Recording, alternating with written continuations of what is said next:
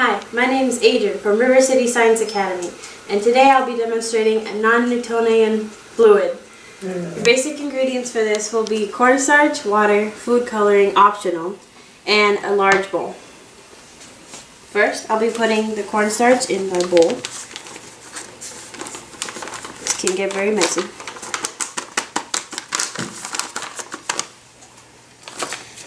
Then, slowly pour in water and mix with your hand.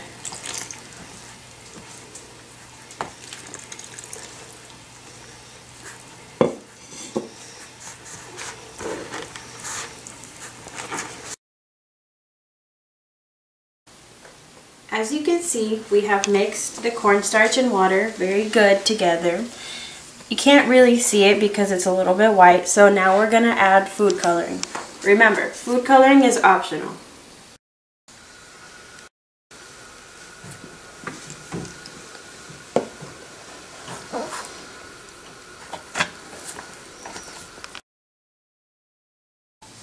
Now we have evenly distributed both colors. Right now it looks like a liquid. But when I pick it up, it turns into a solid. The reason for this is because when you squeeze the cornstarch, the strands of cornstarch actually squeeze out the water. That's what causes it to make a solid.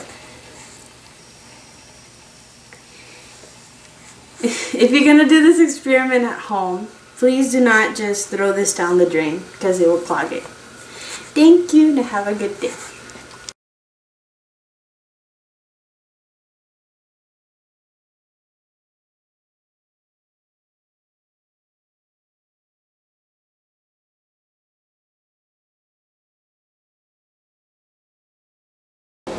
Now we have evenly distributed Today I'll be demonstrating a non-Newtonian fluid. Your basic ingredients for this, it will be cornstarch,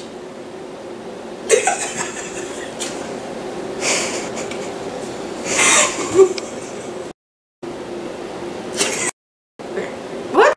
Demonstrating a non-Newtonian fluid. You're, now we have evenly distributed the food coloring and as you can see now, it looks very liquidy. Not very liquidy. now we have evenly distributed both colors.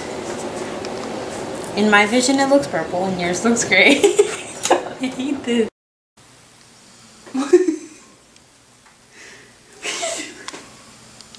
oh wait.